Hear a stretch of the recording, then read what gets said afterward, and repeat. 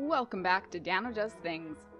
Today, I'll teach you how to make this quick and cute felt mushroom bookmark, and you can download the free pattern from the description box below. Start by cutting out two of the stem pieces in white felt.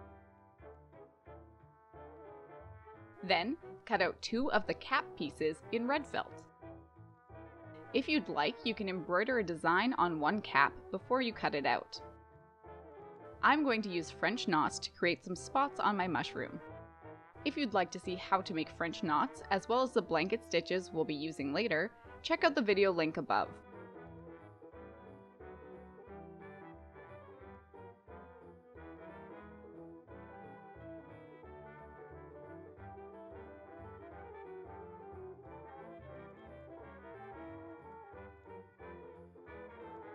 Once you've decorated your mushroom, cut it out making sure to trim off all the pen markings.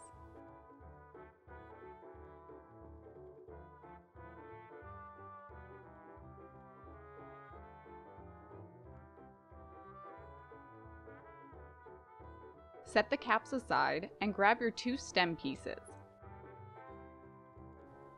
Line them up and use a blanket stitch to go around all the sides but the top.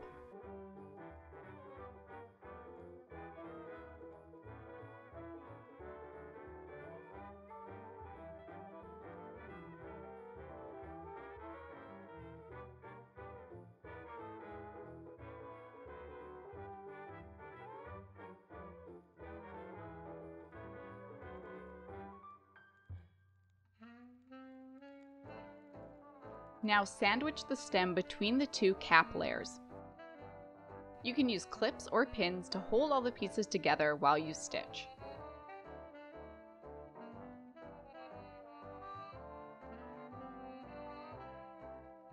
Again, use a blanket stitch to go all the way around, catching the stem part in your stitches.